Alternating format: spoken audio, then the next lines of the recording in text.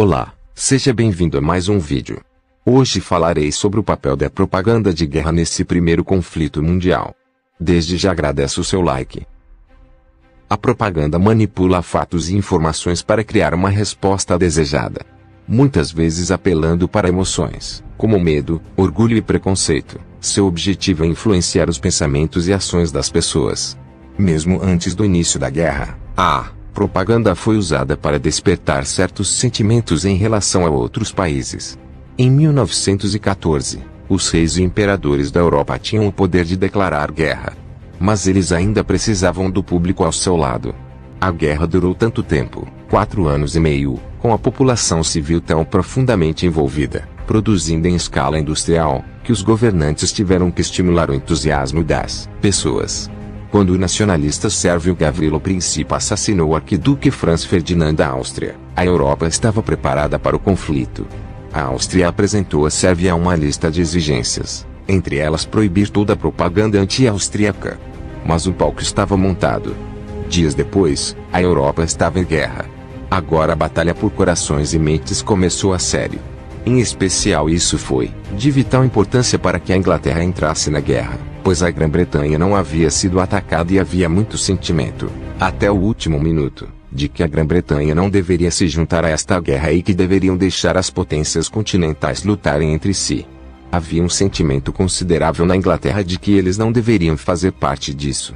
Mas do governo britânico haviam muitos que achavam que a Grã-Bretanha deveria entrar na guerra, e mandaram produzir uma enorme variedade de cartazes de guerra, despertando entusiasmo, chamando atenção para as atrocidades que os alemães cometeram na Bélgica. Sobre esse assunto eu fiz um vídeo no canal.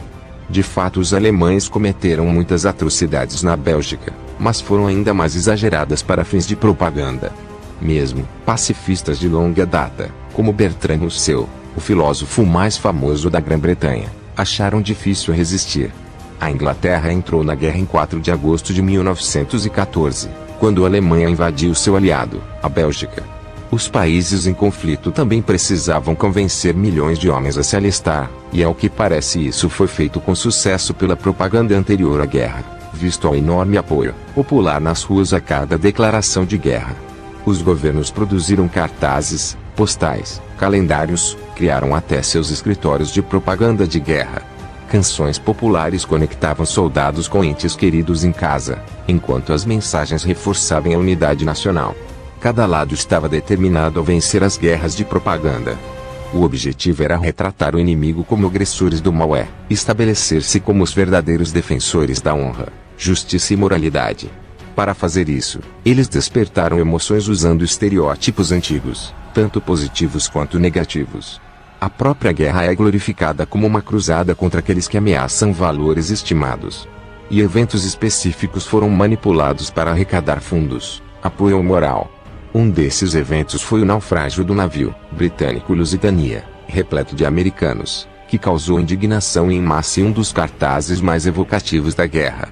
Outro foi o caso de Edith Cavell, uma enfermeira britânica executada como espiã.